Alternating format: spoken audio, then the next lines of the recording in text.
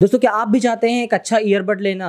वो भी Samsung Oppo Vivo Xiaomi Realme Mivi OnePlus Nothing Apple boAt Noise या ऐसी और भी ब्रांड्स का, जो कि आपके बजट में भी हो और आपके लिए अच्छा भी हो सुटेबल भी हो। तो दोस्तों, सबसे पहले कंफर्ट की बात करते हैं कि आप एक ईयरबड लगाएँगे अपने कानों में तो आपको एक कंफर्ट चाहिए। अगर मान लीजिए आप लेटे हुए हैं, बैठे हुए हैं तो आपको एक कंफर्ट चाहिए जिससे आपके कान में दर्द ना हो और आप एक अच्छा साउंड एक अच्छी टॉक कर पाएँ अपने दोस्तों के साथ या फिर एक अच्छा गाना सुन पाएँ।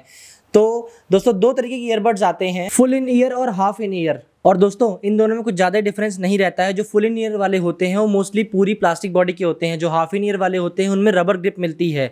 और जो फुल इन ईयर वाले ईयरबड्स हैं, वो दोस्तों, आप जैसे मान लीजिए लेटे हुए हैं और आप गाना सुन रहे हैं या फिर बात कर रहे हैं किसी से तो वो थोड़ा सा आपको दिक्कत देंगे और सही से फिक्स वो थोड़ा सा बाहर निकले रहते हैं आपके ईयर्स में। लेकिन जो हाफ़ इन ईयर वाले होते हैं छोटे छोटे होते हैं, आपको इमेज दिख जाएगी हमारी स्क्रीन पे।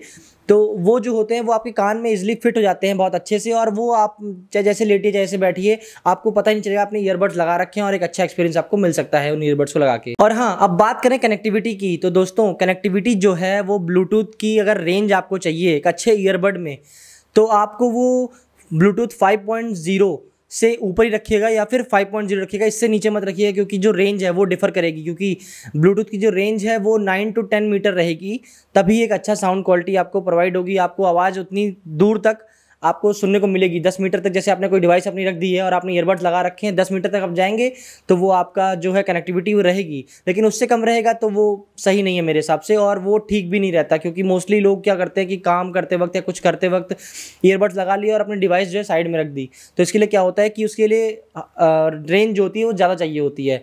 तो आप प्रीफर करिएगा नाइन टू टेन मीटर्स की रेंज वाले ही ईयरबड लें। और हाँ दोस्तों, जो ईयरबड्स आते हैं, उनके सबसे अच्छी चीज़ ये है कि उनके साथ ही उनका एक पावर बैंक रहता है। Power bank in the sense कि उनका जो केस है, वही उनका पावर बैंक है। आपने जैसे यूज़ किया और यूज़ करने के बाद आपका जैसे तीन घंटे पूरे हो गए, चार घंटे पूरे हो गए, आपने उसमें रख दिया, फिर दोबारा चार्ज हो गया वो और फिर से आपने उसको यूज़ पे लगा लिया।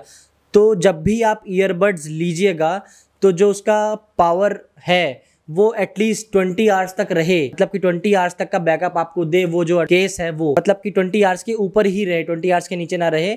और अगर नीचे रहे तो फिफ्टीन आवर्स के नीचे बिल्कुल भी ना जाए। जिससे कि आपका ईयरबड जो है वो दिन में एटलीस्ट पूरे दिन तो चल पाए। तीन बार चार्ज करने के बाद भी चल पाए वो। आप नाइन घंटे का, नौ घंटे का आप जो एक बैकअप है ईयरबड्स का वो ले पाए अच्छे से और उसका एक्सपीरियंस एंजॉय कर पाए। और हाँ दोस्तों कुछ कुछ ईयरबड्स जो हैं वो वायरलेस चार्जिंग सपोर्ट करते हैं। लेकिन उसके लिए आपको बजट जो है वो हाई रखना पड़ेगा।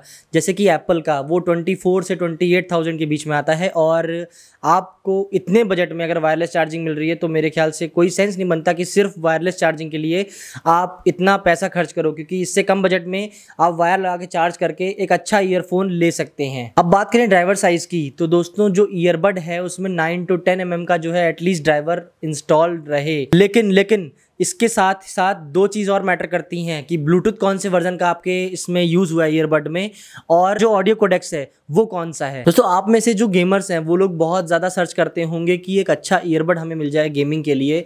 तो मैं आपको प्रेफर करूँगा कि आप ईयरबड्स मत लीजिए गेमिंग के लिए, क्योंकि वॉइस जो है, वो लैग आएगा ही आएगा।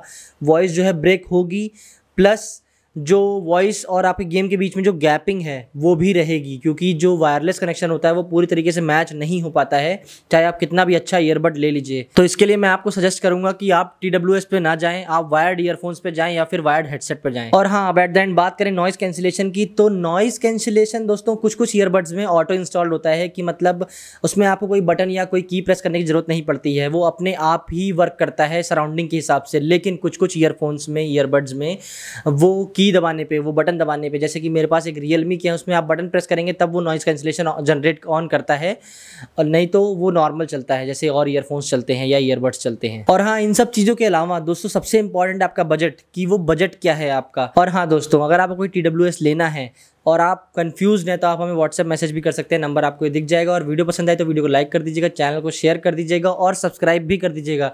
और बेल आइकन दबाना मत भूलिएगा, जिससे कि आपको मज़ेदार वीडियोस देखने को मिलती रहें। धन्यवाद।